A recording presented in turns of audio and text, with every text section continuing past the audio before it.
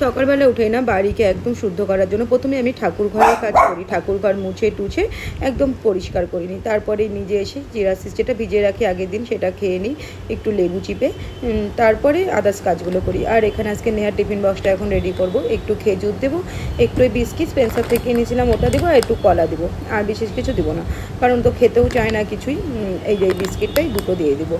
আর একটা কলা দিব, ব্যাস, এটুকুই আজকে টিফিনে দিব। তাও খাবে কিনা জানি না, আগের দিন যেমন কিছুই খাইনি, আর এই বিস্কিটটা এক পিস দিয়ে দেবো। ব্যাস, এই যে, আর একটু কেকও দিয়েছি, বলল কেক দিতে, সেই কারণে একটু কেক একটু খেজুর, একটু কলা, ব্যাস, আর একটু বিস্কিট। এইভাবেই সাজিয়ে দিলাম। তারপরে নেওয়ার টিফিন বক্সটা একটা স্পুন দিব তাই এবার বন্ধ করে ব্যাগে ভরে দেবো। তো চলুন, ব্যাগে আগে টিফিন বক্সটা ভরে ব্যাগটা রেডি করে দিই। জল বোতলে জলটাও দিয়ে দিতে হবে। চলুন, কাজগুলো করে নিই। হাই ফ্রেন্ডস গুড মর্নিং আপনারা সবাই কেমন আছেন? আশা করি সবাই ভালো আছেন। কৃষণ অফ চাঁদনি একটি নতুন ব্লগে আপনাদের সবাইকে স্বাগত। সকাল থেকে অনেক কাজই করে নিয়েছি, যেমন ঠাকুর ঘর করেছি, ফুল তুলে নিয়েছি, এমনকি নিয়ে একটা বাসা চলে এসেছি। হ্যাঁ হ্যাঁ হ্যাঁ কথা বলছি? আচ্ছা আচ্ছা রান্না করব। আর এখন ঘুরতে বাজে দশের মতন হয়নি সারাদিন কি করছে, না করছে আপনারা জানতে পারবেন। যদি সঙ্গে থাকেন, পাশে থেকে চলুন আপনার নিয়ে শুরু সবজি আজকে তেমন আর কিছুই করব না। একটু চিকেন করব নেহার জন্য আর একটু মাছের ঝোল। এই যে, এখানে সব কেটে নিয়েছি। এই যে, রসুন, আদা, পেঁয়াজ, লঙ্কা। এখানে আলু আছে। আর এখানে মাছটাও ধুয়েছি দাঁড়ান! আর এখানে, এখান থেকে এই লেসটা এই মাছটা দেবো। চিকেন বলা টলাগুলো দেবো না, একটু মেটে ফেটে দিয়ে মেটে বানিয়ে দেবো। আর এখানে মাছগুলো সব একখানে, ছোটো মাছগুলো সব বাছা মাছ পাবদা মাছ, ট্যাংরা মাছ সব আছে। দাঁড়াও। একটু ডিম পাঠাতে বলেছেন, ডিম মাছের তেল। আচ্ছা ডিম দিয়েছে। আর তেলও দিয়েছে। আর খেতে ইচ্ছা করছিল আজকে। তো মনে হয় বেছে নিতে হবে তো বেছে তো দেওয়ারই কথা ছিল। এটা কি আছে? জম্মু পিস আরে বাবা।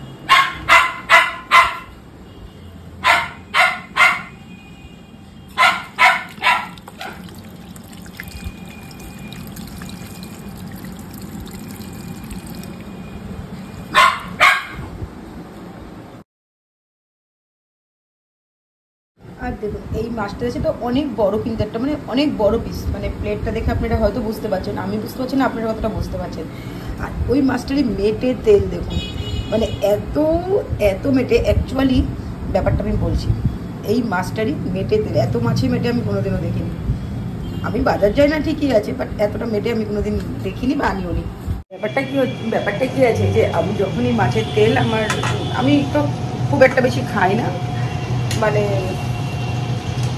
আনিও না। হ্যাঁ তখন অনেক সময় একটু লাউটাও করলে নিয়ে আসি, সেটা খুবই লেয়ার।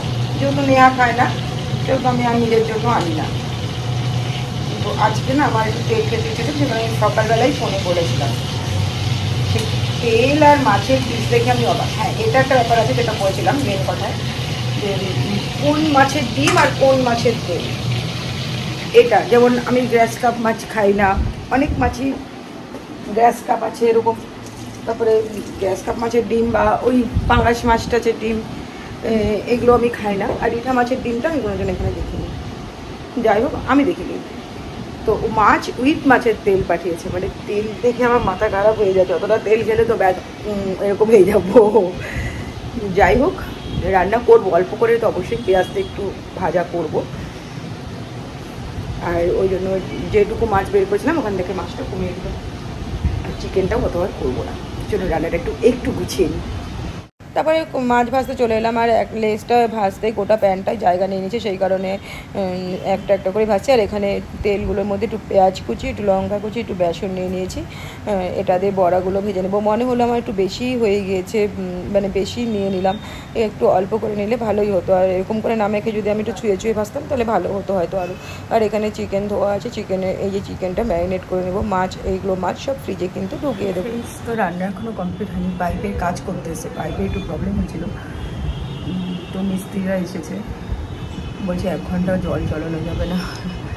এবার আমি ওই মিস্ত্রিরা উপরে যখন উঠছিল, ওর সাথে কথা বলে নিলাম যে, তোমরা কি পাইপ খুলে দিচ্ছ বলছে, না এখনও খুলে নিয়ে এলাম তার মানে কাজ করা যাবে। বলছে যে, কলটা চালিয়ে দেখি। চালিয়ে দিনটা চালিয়ে দিনগুলো জল পড়ছে না। তো আমি সঙ্গে সঙ্গে চটপট চটপট করে সব কাজগুলো করলাম। করার পর এখন কড়াই বসে এসেছি। এই যে, সরি, কড়াই বসে এসেছি। মাছের তেলে বড়াটা ভাজবো, ব্যাস, হয়ে যাবে তাহলে আমার। স্নান করতে বাথরুমে তো যেতে পারব না। ছাদও আমাদের একটা বাথরুম আছে, সেখানে যাব। ফ্রেন্ডস তো আমার রান্না কমপ্লিট হয়ে গেছে, জল তো খুলে যাচ্ছে পাইপ খুলে দিয়েছে। প্রবলেম হয় না পাইপের কাজ টাজ হলে মানে বলার কথা নয়। চলুন রান্নার ফাইনাল লুকটা আপনার সাথে শেয়ার করে দিই।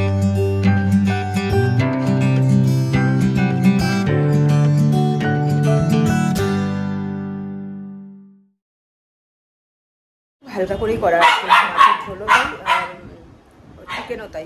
আর কিছু মাছ অনেক রকম আছে বাট একদম পাতলা করে ঝোল করা আছে। ওখানে হাতটা দুটো আমাকে বাথরুমে যেতে হবে, তো চলুন হাতটা ধুয়ে আসি। পুজো টুজো করে এখন নিচে যাচ্ছি, নেহা রাস্তার টাইম হয়ে গেছে, রাস্তা পার করতে পারে না। উপারটা নামা উপারটা নামার সেই কারণে ওই রাস্তাটা পার করে নিয়ে আসতে হবে। নিচে যাচ্ছি, পুজো টুজো করে নিয়ে গেলে তার মধ্যে জল ফেলা যাচ্ছে না একদম অসুবিধা হয় না। এক ঘণ্টা, দু ঘণ্টা হলেও সেটা মনে নাকি যে আর সময়টা কাটতে চায় না। কারণ জল বলে কথা তারপর দেখুন রান্না খাওয়া দাওয়া করেই না একটু বেরোতে হয়েছে। কারণ ওই যে এখন কিন্তু গৌররে আছি, একটু বাস স্ট্যান্ডে যেতে হবে। কারণ বাবার জিনিস পাঠিয়ে দিয়েছে কালিয়াগঞ্জ থেকে। আমাদেরই কিছু ব্যাগ ট্যাগ ওখানে ছিল, আর এই যে বাসও এসে দাঁড়িয়ে গিয়েছে আজকে কিন্তু বাস কিন্তু কিছু আগে আসেনি। আমরা আসার পরেই বাসটা ঢুকেছে। বেশ খানিকটা পরে বাস ঢুকেছে। মানে জামটাম অনেক সময় থাকে তো সেরকমই। আর এবার জিনিসগুলো নিয়ে নিচ্ছি, আর এই দেখুন, ছোটো নিয়ে ব্যাগটা আমি দিয়ে দিলাম। এখানেই রেখে দিলাম, ওরা জায়গা মতন পরে রেখে দেবে। আমি এখানে রেখে দিলাম। আর আমার ট্রলি ফলি সব ছিল, তো সেগুলোই আমি নিতে এসেছি। কালিয়াগঞ্জেই ছিল অনেক জামা কাপড় এনেছিলাম না, তো বাসে পাঠিয়ে দিয়েছে, এখন নিয়ে নিবার আমি ছোটো ব্যাগটা একটু ভেতরে ঢোকানোর চেষ্টা করলাম, বাট পারলাম না, তো পরে ওনারা তুলেই নিয়েছিল। আর এই যে স্নেহার একটা ব্যাগ ছিল আর ট্রলিটা ছিল আমাদের। ব্যাস, এই দুটো জিনিস নিয়ে চলে যাব। তো চলুন, জিনিসগুলো নিয়ে নিই।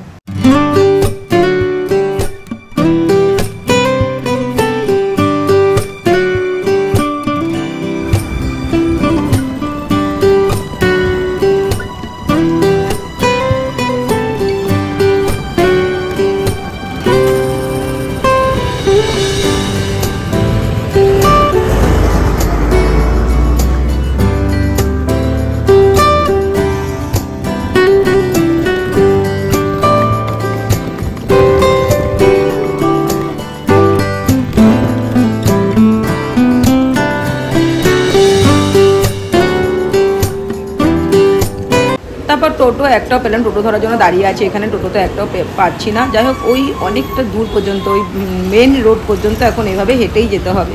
কিছু করার নেই, তাই হেঁটেই যেতে হচ্ছে। আর ব্যাগটা প্রচণ্ডই ভারো, ভারীও আছে। আর ওই দেখুন মেন রোড ওখানে ওখানে গিয়েও দাঁড়াতে হবে, কারণ মকদমপুরের সাইডে টোটোওয়ালারা খুব কম আসতে চায়। এটাই কারণ, রথবাড়ি চলে যায়, কিন্তু মকদমপুর আসতে চায় না গৌরোড পর্যন্ত লাস্ট বলে। যাই হোক, একটু বেশি ভাড়া দিলে নিয়ে আসে।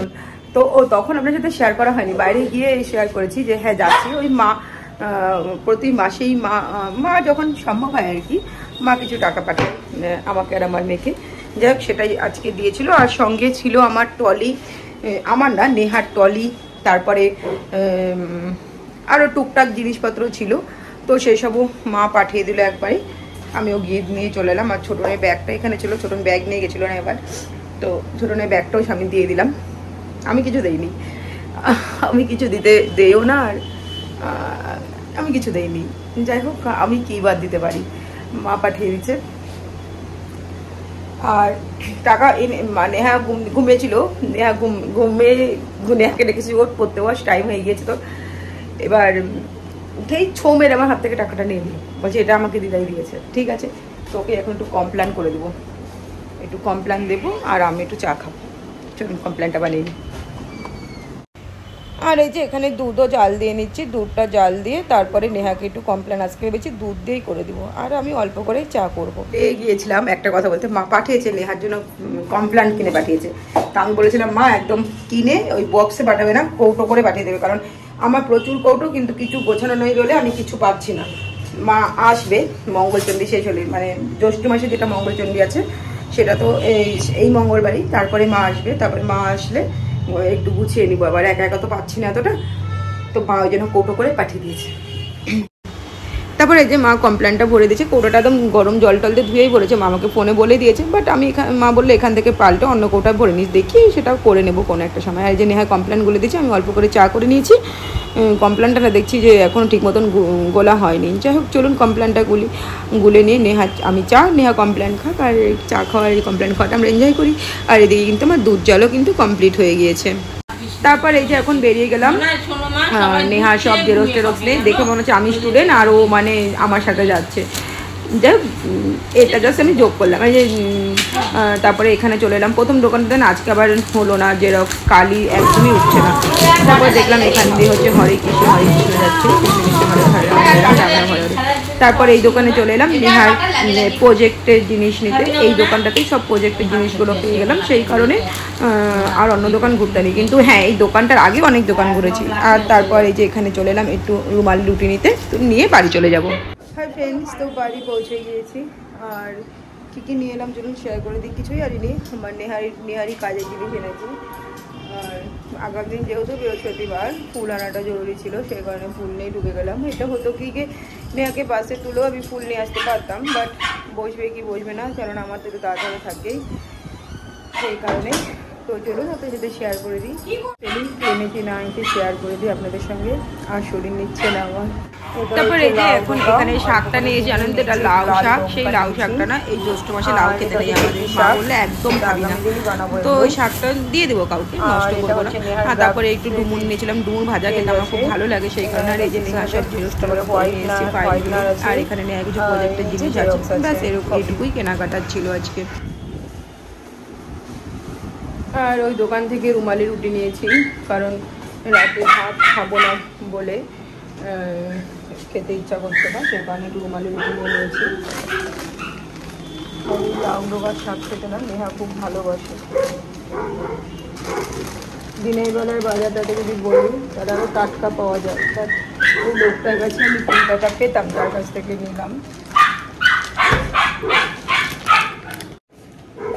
দিনের বেলায় বাজার থেকে নিলে ভালো টাটকা পাওয়া যায়। বাট হাতের সামনে দেখলাম তাই নিয়ে নিলাম যে আগামী দিন থেকে বৃহস্পতিবার নিরামিষও আছে আর একটু ডুমুর ডুমুর ভাজা কিন্তু যেহেতু ডুমুরটা আমি হজম করতে খুব একটা ভালো পারি না, আমার ডুমুর ঠিকভাবে হজম হয় না। তবু খেতে ভালো লাগে, তাই নিয়ে নিলাম, একটু ভালো করে ভেজে খেতে। খুব ভালো লাগে। তো চলুন, এই ছিল। রাতে যেমনটা বললাম, ওটা চিকেন তো করাই আছে। আমারও মাছ করাই আছে। চলুন তবে আজকে ব্লগটা এখানেই শেষ করছি। সবাই ভালো থাকবেন, সুস্থ থাকবেন। আগামী দিন দেখাবে আপনাদের সাথে আবার একটা নতুন ভিডিও নিয়ে। ততক্ষণ টাটা বাই আর গুড সবাই ভালো থাকবেন আর সুস্থ থাকবেন।